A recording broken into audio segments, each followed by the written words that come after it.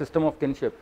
That is a word kinship. What actually the term kinship means, right? And how it is, it, it, how family or marriage is located within this broad uh, pattern of kinship.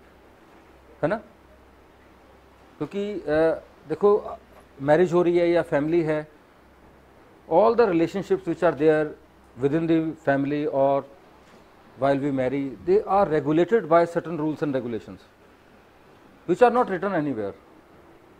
आप किससे शादी कर सकते हो किससे नहीं? ऐसे कुछ रूल्स होते हैं? है ना?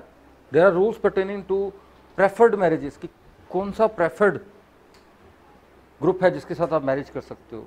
परमिटेड मैरिजेस प्रोहिबिटेड मैरिजेस की यहाँ मैरिज अब ये कौन डिफाइन करता है। क्या आप इससे शादी कर सकते हो इससे नहीं कर सकते? हु डिफाइंस इट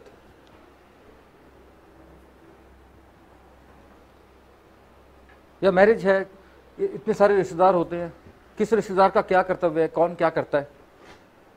कई ऐसे हो ना बुआ ने ये करना है मम्मी ने ये करना है चाची ने ये करना है करते नहीं बहन ने ये करना है जीजा ने ये करना है। ऐसे हर जगह हर not only in India everywhere even in west also, when marriage takes place तो कहीं ना कहीं ऑब्लिगेशंस होती हैं कई कई रिलेटिव की। वो ऑब्लिगेशंस कौन डिसाइड करता है?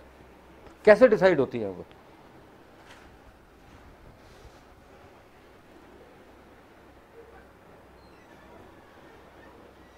है ना? How it is decided who decides this are in form of certain rules and regulation not formal but informal rules and regulation which are in terms of convention है ना? Which exist in our society and which are passed on from one generation to another just informally कि आपको पता लगता लगता रहता धीरे धीरे है ना so what is your range of obligations with your cousins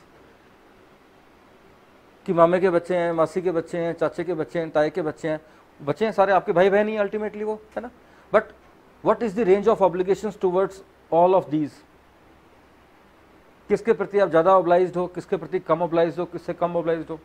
ऐसा है?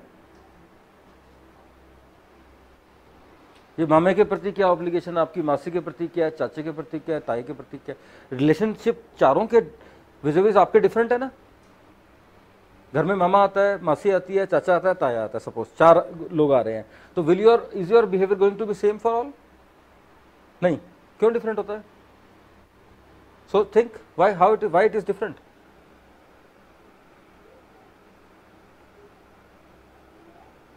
Cure difference of that.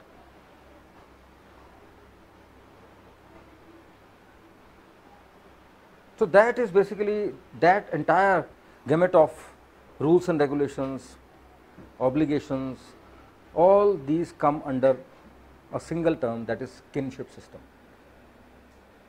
एक ब्रॉड किनशिप सिस्टम है जो हमारे को एक पूरे हमारे जो रिलेशनशिप्स हैं within familial structure familial structure, है ना? फैमिलियल स्ट्रक्चर कौन सा हुआ? जिसके अंदर सिर्फ़ दो रिलेशन है। रिलेशन बाय ब्लड या रिलेशन बाय मैरिज। सिंपल। जहाँ पे भी रिलेशन बाय ब्लड आ गया, रिलेशन बाय मैरिज आ गया, वहाँ पे क्या है? फैमिली। तो जो सारे ये फैमिलियल स्ट्रक्चर के रिलेशनशिप रेगुलेट करता है, वो एक ब्रॉड सिस्टम है that we call as kinship system